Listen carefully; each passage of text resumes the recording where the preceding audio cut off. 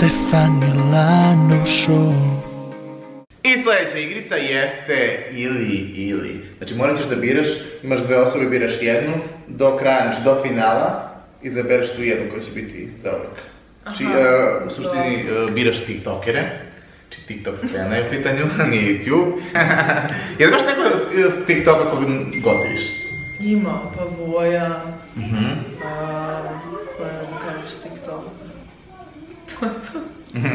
Šalim se, pa ne znam, njega ja? jedno znam li... A da, ti... Ja sam tiktokeri, gdje ste tiktokeri? Tiktokera. Ovaj... Pa ne znam, ko još, koga ima još? Bojanče mi je baš. Da. Da, ima dosta Ne znam, ne pada mi na Da. pamet, ima, nisu, zato kao veštica. Da, ajmo biraš tiktokere. Znači prvi su Bojanče ili Bondissimo. Pa, Bojanče, zato što kao... Njega znam. Mislim, znam, nismo se uživo upoznali, ali čujemo se. Da, da. Ajmo, znači sad ide Bojanče ili Boja. Voja, Voja, s kojom se druži. Da. Znači ide sljedeći Boja ili Andrija Jo. Joj, to ne znam, sve, nekako je na istom nivou ih znam. A koga bi, moraš nešto vidjeti se, kad se vidim sve, vidim si sve. Pa da, ja Pa morao da nemam biraš. pojma, čekaj. Ha. Jo, bi bi mi jedna gubica. Da kosu, ne, ajde, pusti ga puži u gubici tvoje. Ajmo. Ne znam, ne znam koga da izaberem. Bukvalno ne znam osnovu čega da izaberem. Ajde, ne Moraš, aha. 3, 2, 1, Čekaj. sad. A, Ajde, Boja. On je kolega TikToker. Svi Andrija, ali Andrija je pre svega. E, Ajde, znači Voja VS Sergej Pajs. Sergej, že izpoveduje. Okay. Znači, aj sad samo ženski tiktokere. Aj.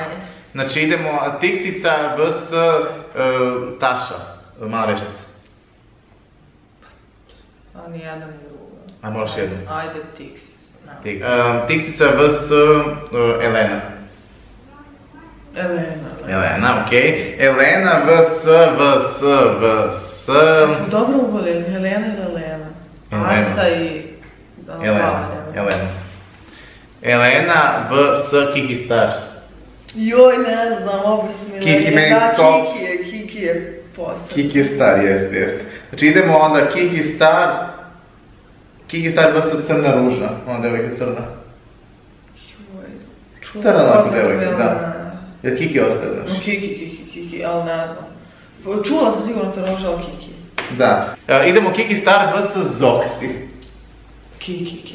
A, Kiki vs A nije Antička. niko ra, Kiki, brega. Kiki pobeđuje, znači Kiki Star pobedila je. Stefan Milano Show Sljedeći deo jeste taj naše reakcije s TikToka na kose. Znate moj serijal koji se zove Reakcije, mislim Stefan Milano reaguje na kose. E, imamo tri videa koje ćemo staviti koje smo Una i ja reagovali, tako da e, sad upravo taj prilog gledate.